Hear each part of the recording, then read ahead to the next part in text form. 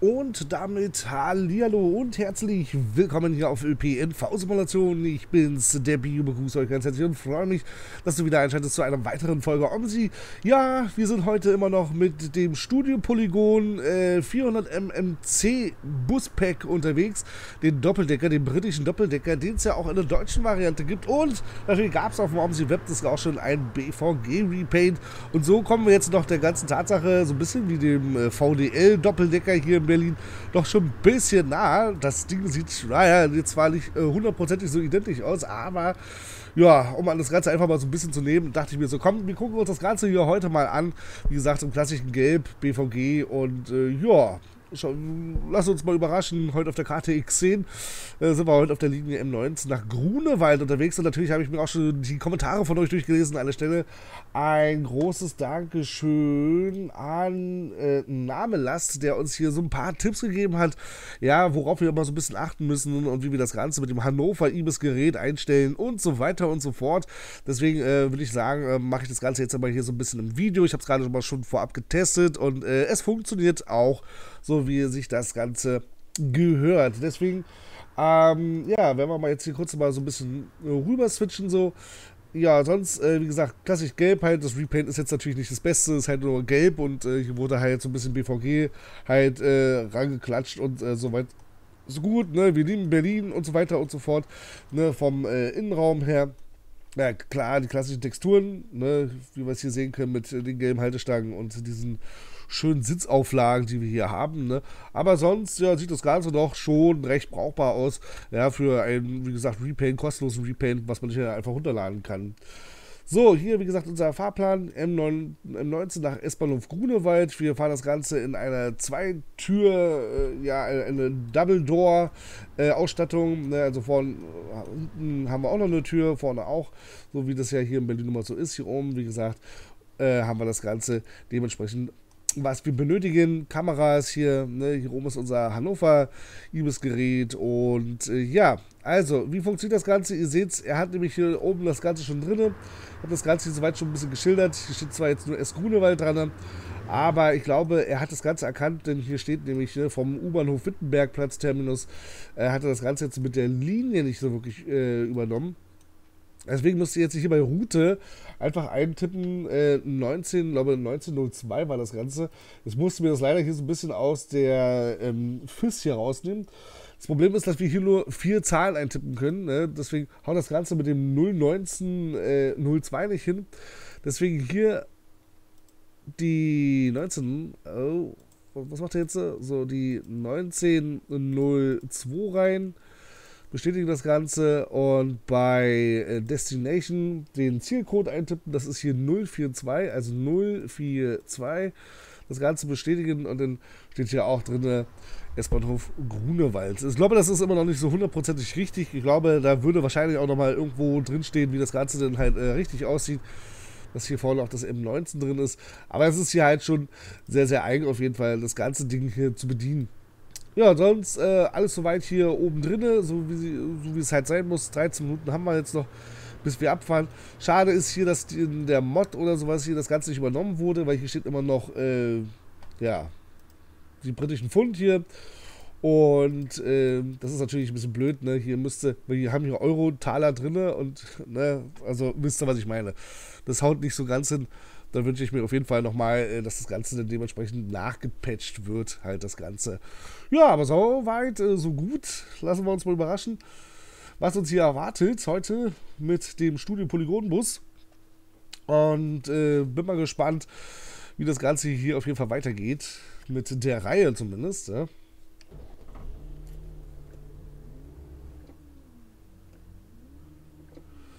So, Motor ist auf jeden Fall an. Das hört sich schon mal gut an. So, dann. Ähm.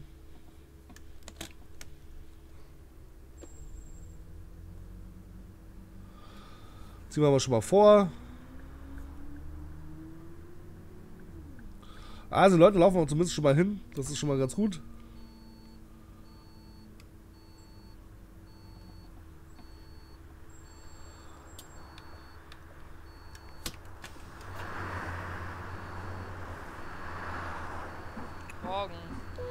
Morgen und sie steigen, steigen, ja, steigen, nicht steigen, sondern steigen, steigen schon mal ein.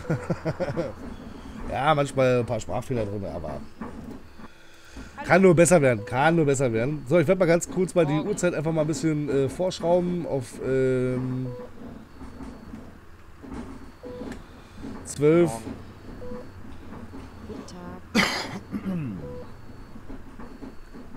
Ja, ich bin äh, tatsächlich überrascht jetzt in den letzten Hallo. Livestream. Habt ihr so viel nach britischen Karten gefahren? Was ist los? wollt ihr jetzt so, äh, habt ihr Deutschland übersatt gesehen, ja? Und wollt ihr jetzt mehr Briten-Karten sehen? Wie gesagt, also sobald ich was habe, ne, dann zeige ich euch das ganz gerne, habe ich kein Problem mit.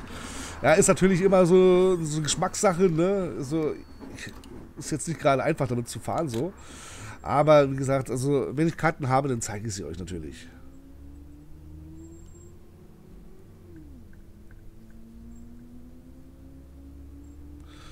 Gut.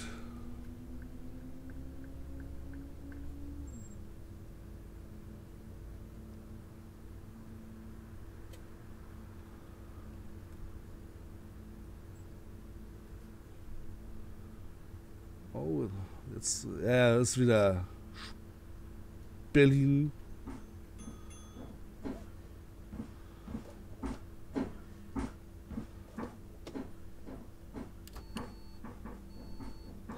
Schaltet er nicht weiter? Das finde ich jetzt irgendwie nicht so geil.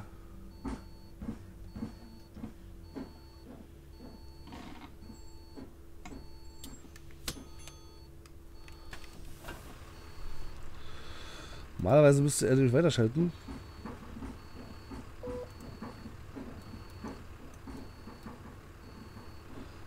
Du willst aber erkannt haben, oder? Nein, er hat es nämlich nicht erkannt.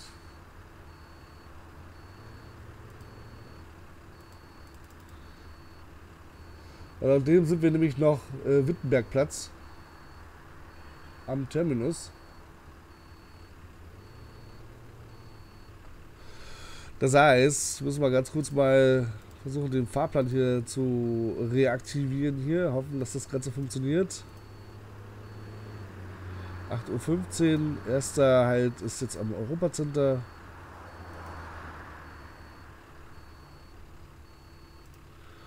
Und stelle das Ganze mal hier ein. So. Hoffen wir mal, dass es jetzt funktioniert. Nächster halt Europacenter. Aber es war ja falsch. Wir müssten jetzt äh, nächsten halt ähm,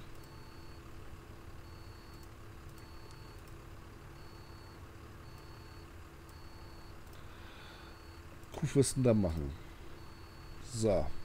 Okay. Jetzt hoffen wir mal, dass es funktioniert.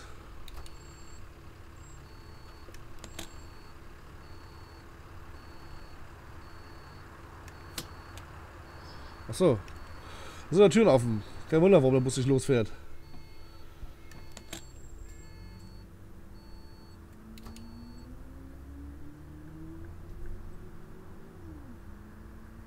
Vom Ulandstraße? Was macht er denn jetzt? Jetzt schaltet der Ulandstraße. Oh. Das darf ja nicht wahr sein. Ding dong, ding dong, ding dong. Ja, natürlich auch nicht die Originalkasse, ne? Also, selbstverständlich. Da müsste man wahrscheinlich noch ein bisschen weiter modden. Aber ich finde, der kommt dem ähm, VDL schon sehr nah. Der Lobby habt auch in die Kommentare meiner Meinung nach geschrieben, dass äh, das Ganze schon wirklich äh, irgendwie das gleiche ist, halbwegs, aber bloß, äh, glaube, dass die britische Version sich ADL irgendwie nennt. Ich, das Problem ist, das ist zu weit in die Thematik rein kenne ich mich persönlich überhaupt nicht mehr aus. Also, wie gesagt, ich kann halt unterscheiden zwischen Mercedes und äh, Solaris oder sowas, ja.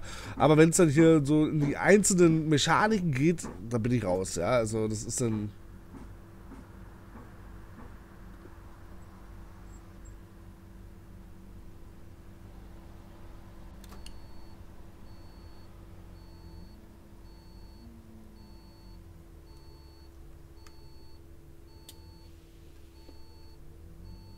Sind nicht meine,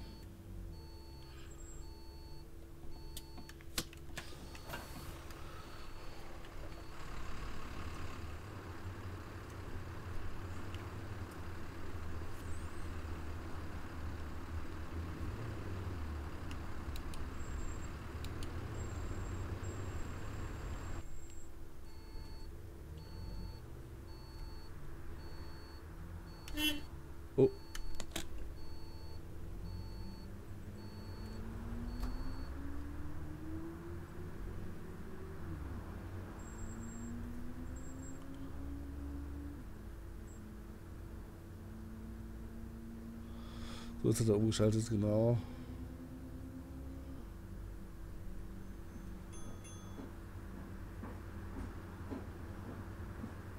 Leider keine Ansagen dabei.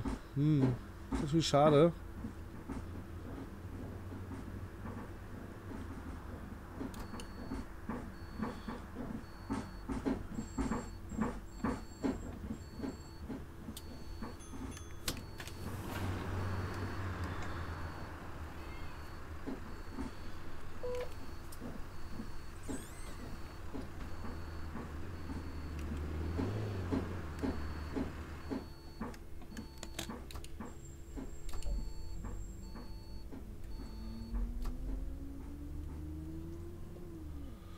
Leider die Ansagen nicht dabei irgendwie.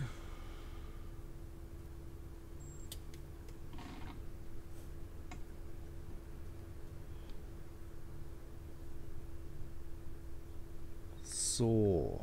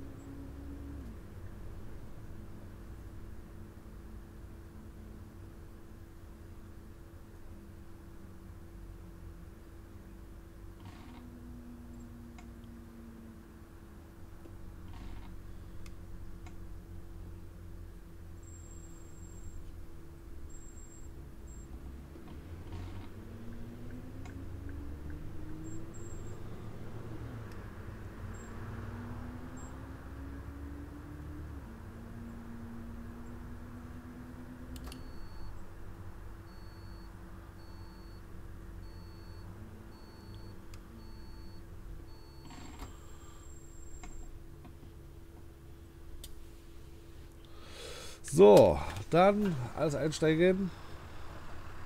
Hallo. Ja, hallo. Wunderschön. Man redet hallo. mit mir hier. Ja, hallo. Schon so ein bisschen vermisst. Ich dachte, ich bin es nicht mehr wert, dass man sich hier mit mir unterhalten muss. ja.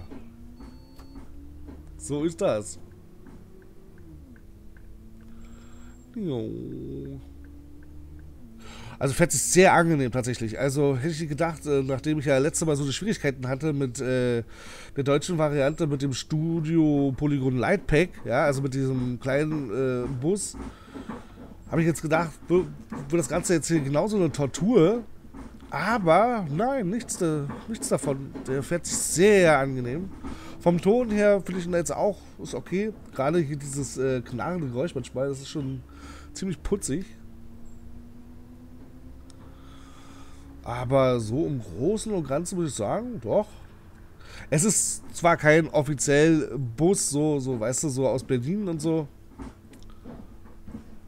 Aber ich finde halt, dass er dem VDL näher kommt, ja, als dieser komische Berghofbus da, den es ja da gibt, ne? Als kostenlose Variante. Und von daher muss ich sagen, ist der hier schon super gut gelungen. Wenn man sowieso gerne so, so britische Karten äh, fährt oder sowas und den DLC sowieso hat, dann kann man den doch auch stattdessen denn statt dem Berghof in diesem nutzen. Muss mal gucken, ob ich denn für den anderen denn auch noch mal eine Berliner Mod finde. Gibt's bestimmt irgendwo. Wenn ihr da irgendwie Ahnung habt, dann ja, lasst mich das wissen. Schreibt das gerne mal in die Kommentare.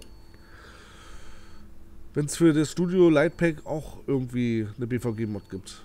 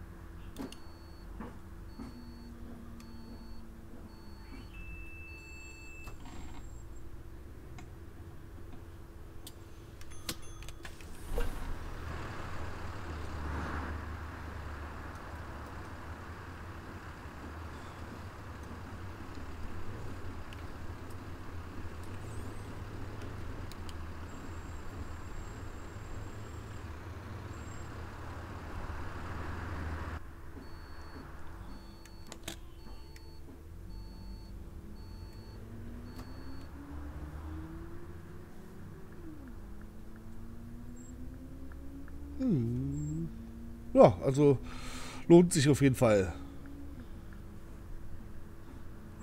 Finde ich jetzt nicht schlecht.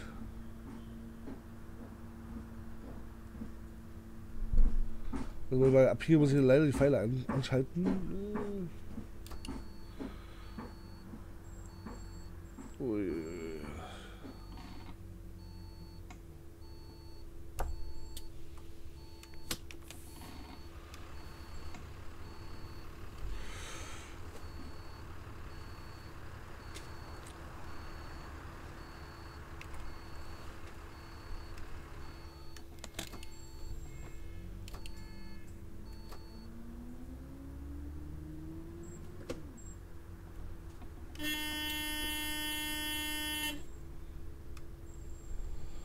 Ja, du bist ein Held, weißt du?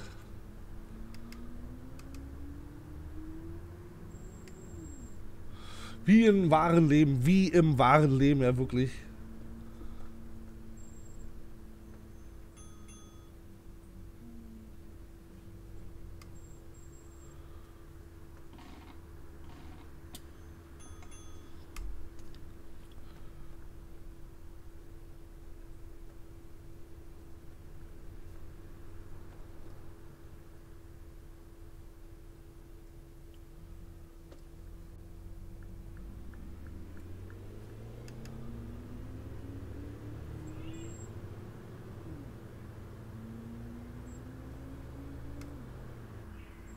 Oh, jetzt fährt er mir rein, oder?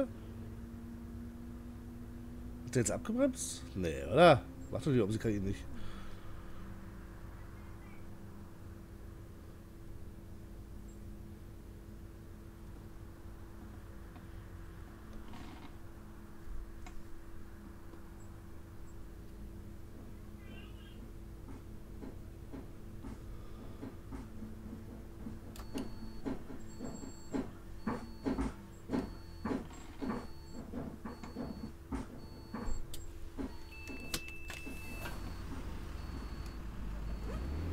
Hallo. Alter.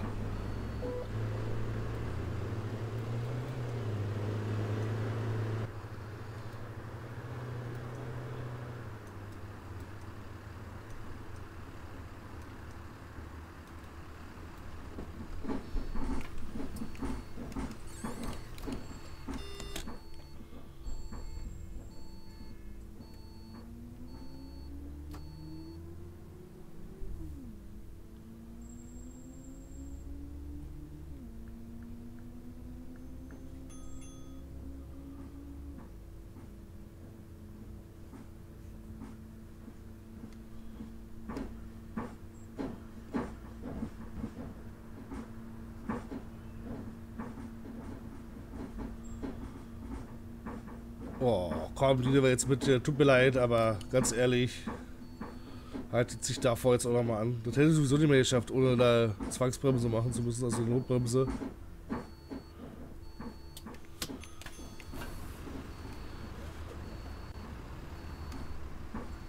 Hallo.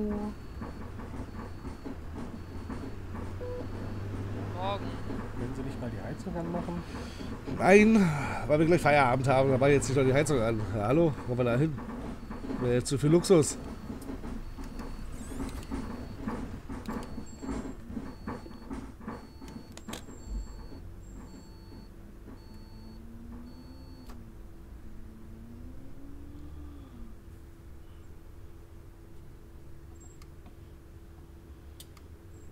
Super arschig.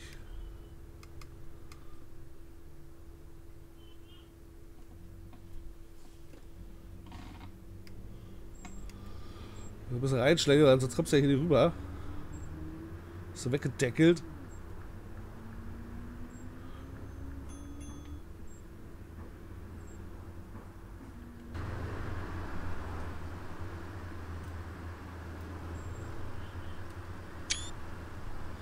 Wir brauchen noch ein Bild leider. So, M19 hier rüber. Obwohl, nee, kommt doch noch eine Haltestelle, oder? Ja, meine ich doch.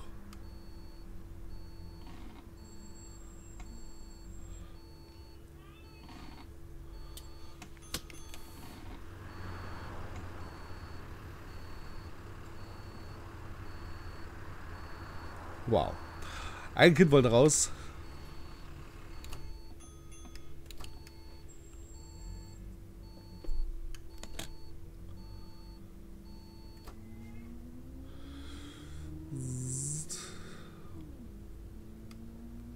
Geworden. Glück gehabt. Glück im Unglück.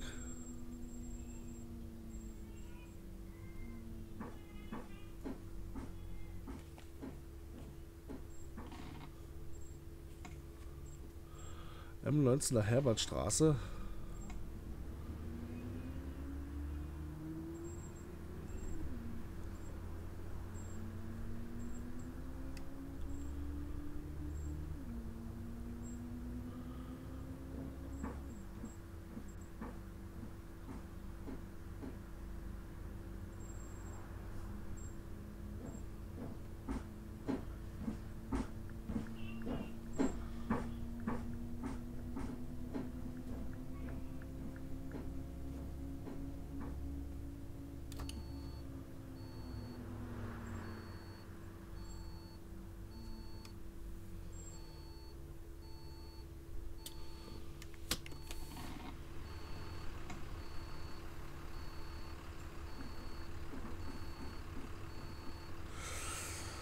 So, alle raus. Wundervoll.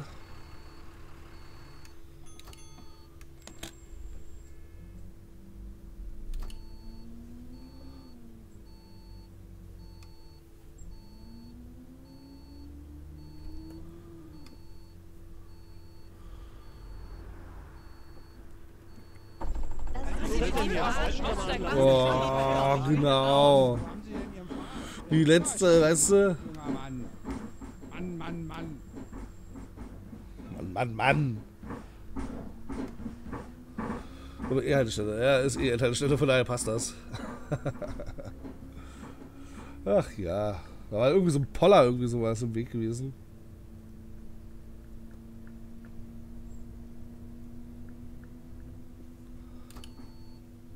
Also ich, werd- werde mir nochmal ransetzen. Ich, werd- werde mir nochmal den kleinen Enviro angucken. Also nicht Enviro angucken. Ähm, den kleinen nochmal angucken. Und dann werde ich mal schauen, ob ich da irgendwie den BVG-Mod nochmal zu finde.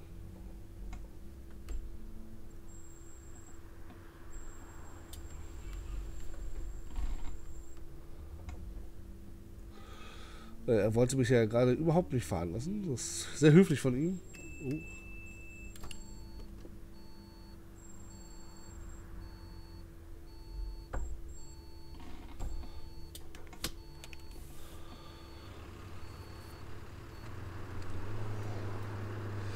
So, damit haben wir unsere Fahrt erreicht. Und wir sollen uns jetzt aber, statt jetzt sofort die Fahrt zu beenden, guck mal hier, Tatsache, da müssen wir hier noch den Müll einsammeln. da lassen die hier alle ihr Schlampen, ihr Müll hier überall liegen. Ja, das ist ja unglaublich.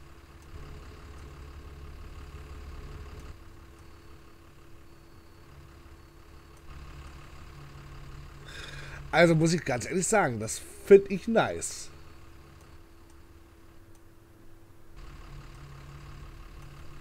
Dann ein großes Dankeschön an äh, Namelas, der uns nämlich äh, diesen Tipp mal zukommen lassen hat, dass man sich das Ganze mal angucken soll.